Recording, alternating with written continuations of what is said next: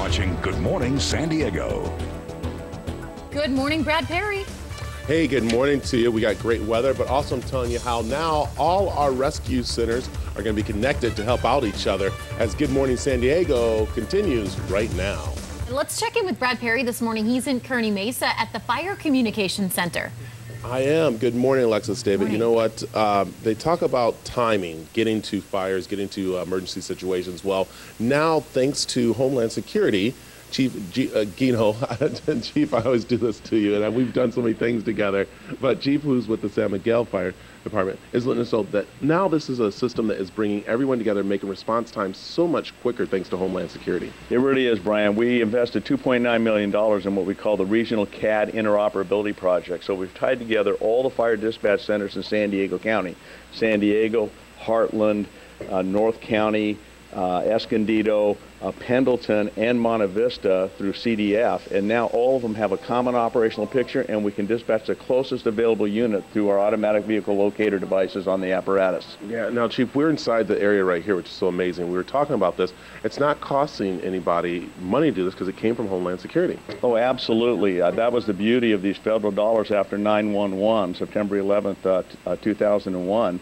Uh, these federal dollars helped us put this $2.9 million that we couldn't afford here locally into all of our dispatch centers to get them united uh, under a software program that allows them to share resources, uh, track resources faster, dispatch resources faster between agencies. We literally have dropped the borders between jurisdictions and send the closest available fire engine to a medical aid or a fire call, which is great customer service for everybody in San Diego County. Yeah, and one reason this is also important because we were just talking a little bit about this that I might have a phone number that might be in Del Mar, but I'm in La Jolla needing help. And this way, you're not sending someone from Del Mar over to La Jolla or back and forth. You're actually sending the closest person due to the places where they're at. Oh, absolutely. And on top of that, Brian, during the large catastrophic fires like the 2003 Cedar Fire or the Harris and Witch Fire in 2007, it allows us to see what's going on county-wide, real time, and be more judicious in how we manage our resources throughout San Diego County through our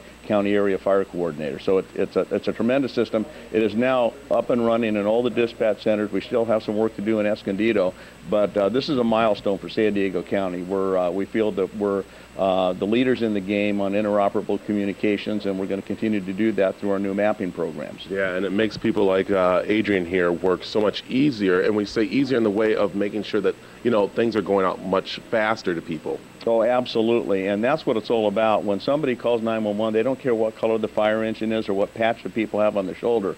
They want help now. They want that paramedic as fast as you can get it. They want that first responder fire engine to suppress that kitchen fire or that bathroom fire as quickly as possible. And now we are at that point. Love it. And of course, it's right here in San Diego. So great for us to be connected to make sure, especially this time, we're starting to see the brush fires pop up. We're starting to see uh, people being out in the heat and stuff. And, you know, like we just had that big rescue of the gentleman that was, you know, out in the mountains. And that was mm-hmm. due to the fact that you guys got to get together and get the quickest people there. Right, and that information now can be shared between all the resources so they know what's happening everywhere in San Diego County, and we can be more prepared. We can plan better.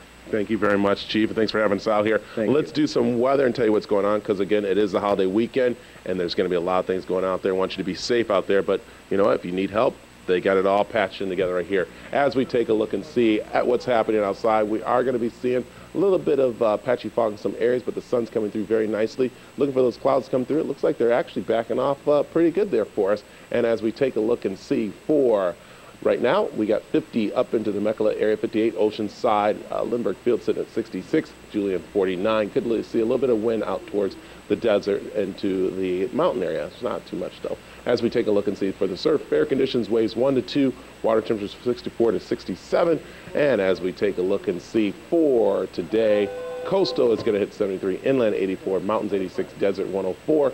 And for the rest of the weekend, very nice for us hitting for the holiday weekend, starting the coastal off with, how about this, a nice 75, 78 for Saturday, Sunday 80, Monday for Independence Day 78, and then for the inland, how about another nice 80 day for tomorrow? That's right, we're going to be seeing a nice little 88, 90 for Saturday and Sunday, Monday for the Independence Day 89 along Tuesday, and then Wednesday about 94. So don't forget to log on to KUSI.com for all your weather news while home and at work. And I'll say they work very hard, and you know it's very quiet here, and we don't want to jinx it because uh, a quiet room in here means a great room, means that there's not a lot of emergencies out there. But when it does, it gets very busy out here. And uh, Adrian here is telling me don't jinx it. We want to be safe out there this morning, so well, hopefully it does. so, David and Alexis. Yeah, it's one of those services you don't hear a lot about until there's an emergency, and that's a good thing. Absolutely. Yeah, and I gotta, you know what? I say I always get the Chief's name. I've been doing the Burn uh, uh, event with him and stuff, and I always get his name wrong. So I always, you know, call him Chief. So I gotta make sure. Just call him Chief. Okay. That's it right there. Thanks, Brad. Thank you, Brad. All right.